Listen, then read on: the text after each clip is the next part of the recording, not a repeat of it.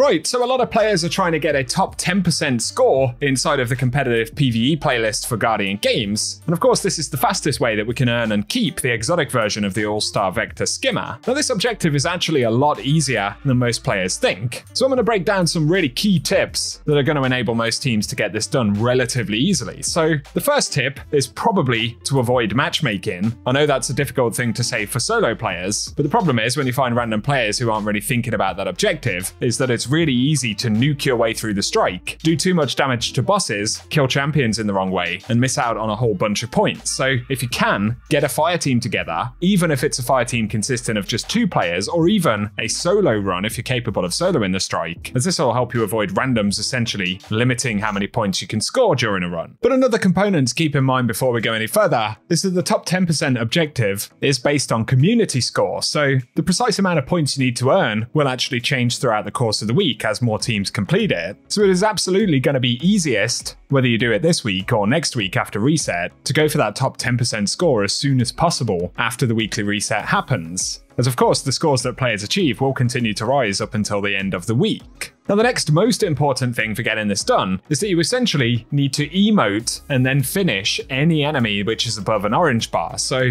it's a kind of stupid way to have to play a strike, but on this orange bar, as you can see right here, when it's finishable, I quickly emote, then use a finisher, and we can see we get more than 4,500 points for that kill. The same exact thing applies to champions as well, and there are a whole bunch of champions that will spawn during the strike this week. Again, if you emote and then finish them, you'll be able to get 9,000 plus points for every single kill. Now, at the time of making this video, getting that top 10% score pretty much requires 250,000 points. But as you can imagine, you kill 5 champions, and you've got getting on for 50,000 points. So make sure on anything that has an orange bar or yellow bar, if you can carefully go through, pick out the ads, and then take those enemies down with finishers, it is going to make an absolutely massive difference to scoring, and it's the single biggest component to getting a high score run. Other pretty important elements, though, include primary weapon sprees with kinetic ammo weapons. Now, because we can take down a lot of enemies pretty fast, weapons like Trinity Ghoul, any primary weapon that can cause a lot of multi kills, things like Sunshot, for example, or weapons that can spawn stasis crystals, they're going to accrue a lot of points because we can continuously kill enemies. And as you get medals for those kills, you'll find that more and more points accrue. But again, the other massive tip here is to take your time in these strikes. Be sure to avoid overuse of anything that has crazy AoE, as this can unintentionally kill champions or orange bars without gaining the finisher points. That doesn't mean that you shouldn't use supers, definitely use plenty of supers, as it's an easy way to take enemies out, and they score a lot of points, but just be sure to use them carefully, especially around orange bars or champions. And otherwise, again, avoid nuking everything. In general, it's pretty easy to chunk the final boss and all of the bosses in the strike pretty quickly, but the issue is that this may mean that you miss out on ad spawns, especially in the final boss room. So take your time, kill general mobs first, then focus on things like champions, then damage the boss slowly, and this will ensure you're getting as many points as possible, but also all of the potential ad spawns. As if you're in the final boss room and you just nuke it, you're potentially going to miss out on around about 100,000 points. So yes, essentially you have to play this strike in a pretty stupid way, but I would imagine most teams of decent players can probably get this done in two or three runs, maybe a little bit of practice. And sometimes, you know, things happen, a champion gets killed unintentionally. Or in other instances, you may have things like